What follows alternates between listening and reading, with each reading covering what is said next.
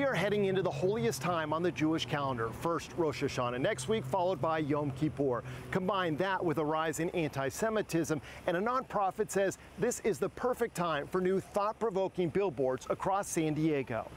A rabbi attacked in a college area convenience store in July.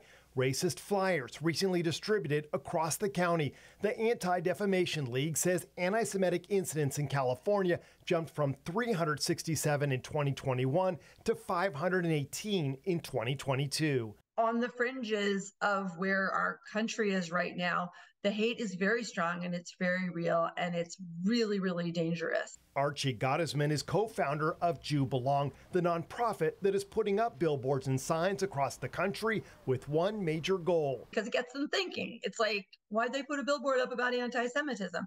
Well, because you haven't been thinking about anti Semitism and it's growing in our country and it shouldn't be growing. And we're going to, until people start talking about it, it's not going to go away. JewBelong actually started as a website seven years ago with no thought of fighting anti Semitism.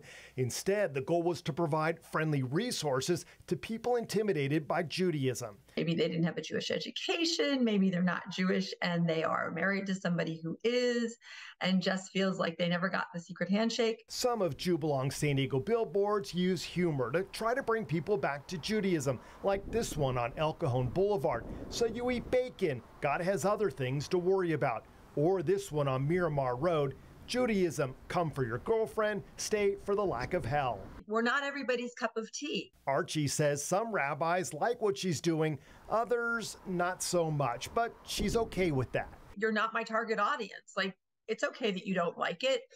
It's not you, but but people, Jews who get it, think it's really funny. And then they they go to the website and they're like, oh, this is actually something that really resonates with me. Archie is hoping to put more billboards across San Diego, but as a nonprofit, she says funding will determine if that can happen and how long these ones will stay up. Steve Price, CBS 8.